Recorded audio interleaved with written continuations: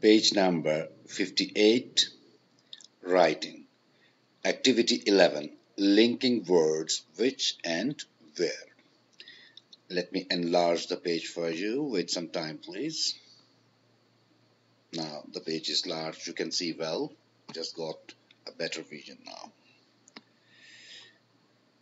So dear students, activity 11 linking words which and where we can use which and where to join sentences. We use which for things. This is the book. It has the information. Now, book is a thing, so we can join these two sentences with the help of linking word which. This is the book which has the information. We use where for places. There is the house. John and Mary live in it. Now the house is a place and we can link these two sentences with the help of the linking word, word where. There is the house where, where John and Mary live. Join the sentences with which or where. Jack wrote a letter. It arrived this morning. Jack wrote a letter which arrived this morning and so on. This is the answer key. This is the answer key for activity 11.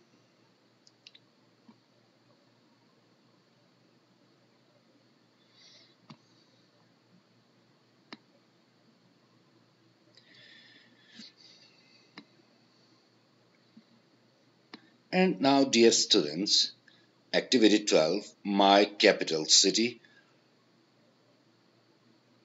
My capital city. Read about London and complete the text using the words in the box. These are the words in the box. Number A, where the queen lives.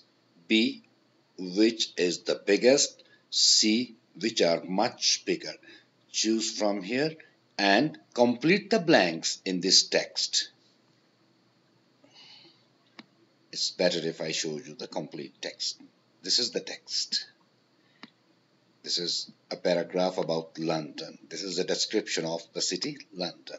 So you will choose from this box and complete the blank places here.